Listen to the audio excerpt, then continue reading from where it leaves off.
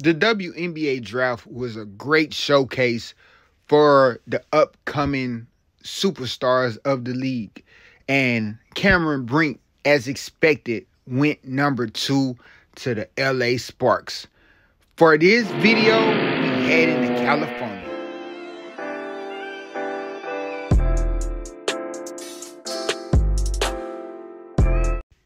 As expected, Cameron Brink from Stanford, the center, ended up going number two to the Los Angeles Sparks. And like I said yesterday, if you were able to check out the video, the LA Sparks had a top five defense, but they didn't have anybody to protect the rim, meaning they were able to help outside. But when it got to people getting close to lay up the ball and just hit close shots, they weren't able to stop that because they didn't have nobody that was able to block the shots. Now they have Cameron Brink coming in, who, in my opinion, it would be cool if she can add just a little bit more weight to her frame. I think she's a little bit slender to p- play in that post. I think a lot of, of the bigs gonna try to get her and back her in like that, but I think she'll add just a little bit weight of weight and be able to be an exceptional center in the WNBA. Because the thing that she has, she could step out, she could knock down shots, she could hit threes, she could do a lot of different things that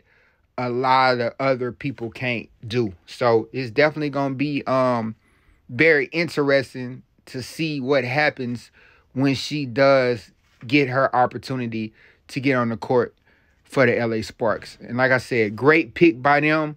She's definitely going to come in and be an impactful player from day one. Will she start from day one? I'm not for sure. Uh, they probably just let her come along slowly. But I can't wait till she get on the court and, to watch her play. Y'all let me know what y'all think about this in the comment section. Make sure you like the video and subscribe to the channel. And now I get to reorganize my bag. And thanks for watching.